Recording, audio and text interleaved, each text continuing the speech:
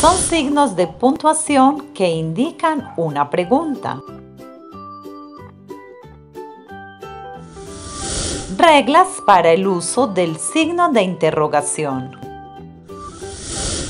Regla número 1. Son dos signos, el que abre la pregunta y el que la cierra. Regla número 2. Siempre van los dos signos en las preguntas. Regla número 3. Deben ir donde inicie y termine la pregunta. Regla número 4. Puede seguirlos cualquier signo menos el punto.